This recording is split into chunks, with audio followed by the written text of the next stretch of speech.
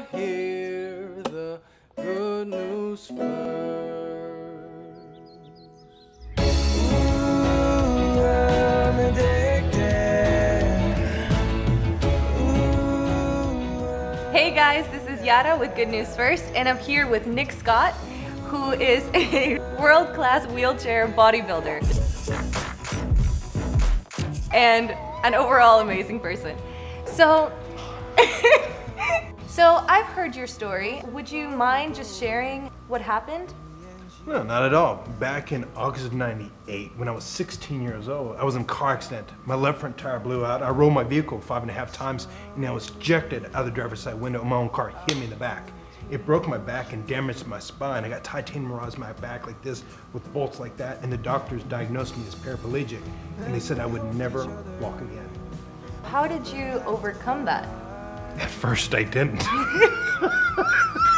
I got very depressed and I went down this very negative mindset where I was borderline suicide and my weight went up to 300 pounds and I hated who I was. I even asked the Lord, why me? I felt like I never got my answer. But I realized what's the one thing you gain from losing everything? And it's a perspective. It's a mindset, a perspective. I was thinking about the positive things, not the negative, and focus on what I could do versus what I couldn't do. And that was the first stepping stone to take my life to the next level. That's amazing. And I mean, you really have taken your life to another level. Nick was just telling me that he performed for the Pope a couple of weeks ago. Remember when the Pope was in Philadelphia? So Nick was there performing with his ballroom dancing partner because he's a professional ballroom dancer. So tell me about all of your achievements. From that negative mindset, when I focused on positive, that led me to focus on what I could do, which was bench pressing. And that led me to being a two-time world powerlifting champion, which that led me to a bodybuilder, which led me to a ballroom dancer, and now a speaker, and it just keeps on going. And now the genie of the lamp. So it's just that mindset really helps take your life to the next level. It's focusing on the positive aspects of life, not the negative. There's so much bad stuff in the world and that we revolve around. It's that negative energy.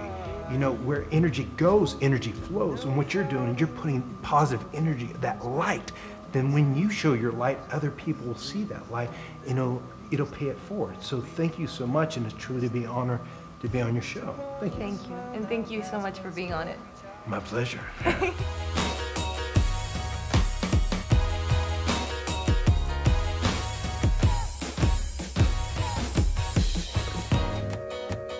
A guy named Martin Shkreli has been getting a lot of hate in the past few weeks because he famously raised the price of pills that help treat AIDS from $13.50 to $750 per pill.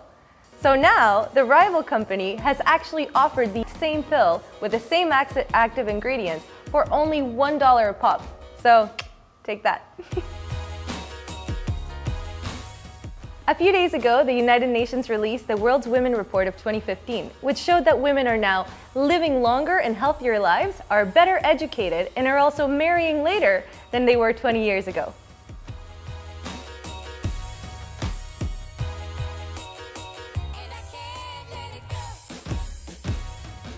California Governor Jerry Brown signed a legislation making California the first state in the United States to have officially banned the use of routine antibiotics in livestock.